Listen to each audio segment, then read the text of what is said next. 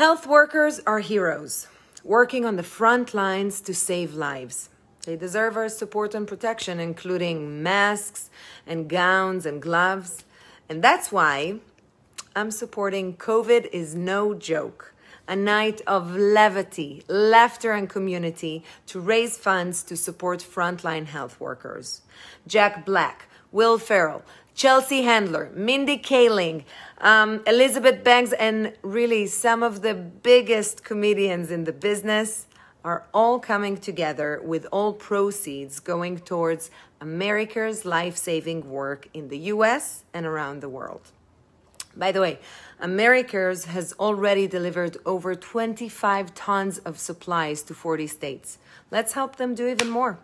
Tune in on Friday, May 1st at 8 p.m. Eastern Time by going to covidisnojoke.org. All proceeds will go towards protecting frontline health workers. Please, please, please be safe. I'll see you there. Mwah.